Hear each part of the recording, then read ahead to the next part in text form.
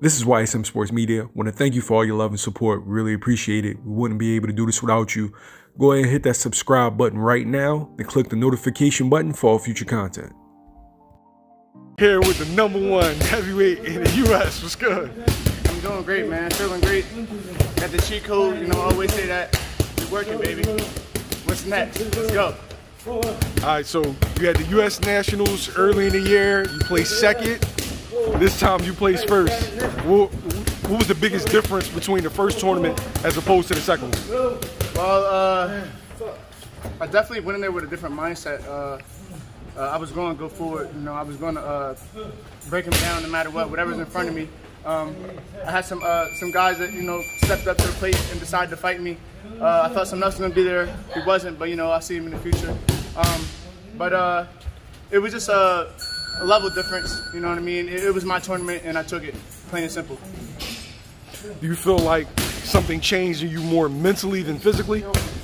Uh, yeah, of course, definitely. Um, you know, this boxing thing is mental in itself. Uh, you know, me and my coach went back to the went back to the drawing board, and uh, we uh, worked with some things, and um, we applied them.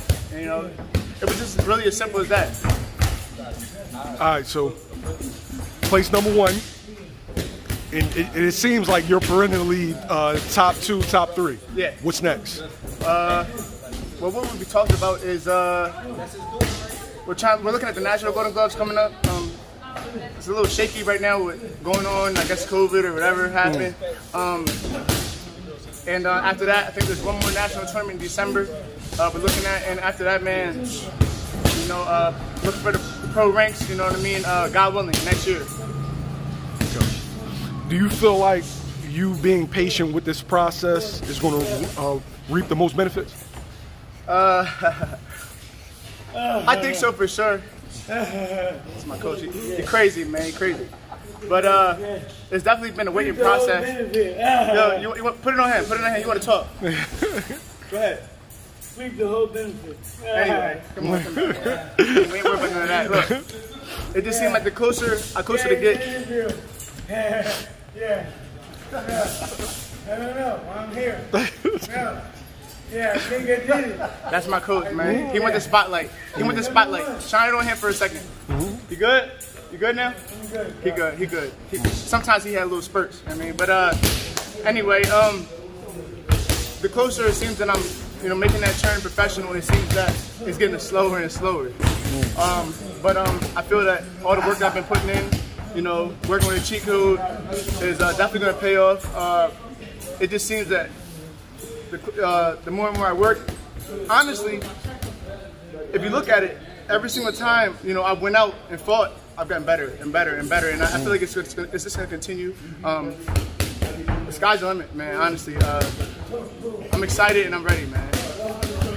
Now, you're a relative small heavyweight. Yeah. And I know that um, they're going to be looking to bring you down. Yeah. But why do you feel like you're so able to fight bigger guys? Or why you're able to have so much success fighting bigger guys? Well, uh, honestly, you know what I mean? Like, my amateur uh, fights, amateur time is coming to an end. And, uh, for the past two years, I've been, uh, I just feel, I feel comfortable at my weight. You know, a lot of people don't take that chance, uh, but uh, I'm a little mature and I got a little bit of muscle. You know what I'm saying? And uh, what do you want? I'm not even, I'm not afraid. You know, the big dudes. You know, and uh, I feel that with my speed. You know, in my mind, uh, I'm, I'm comfortable. You know, uh, but for the pro ranks, I know you didn't ask, but we we aiming for 75 and then 68. And like right now, I eat what I want. I do what I want. I don't eat crazy, but he can do what I want. So I'm just chilling right now, and then when it's time for pro time, it's gonna get real spooky, real spooky. Do you look forward to being a bigger man in the ring for once? oh, God. Yo, it's gonna be crazy. Uh, I just dream it, and uh, I can see it already. You know, um, I can't wait, man.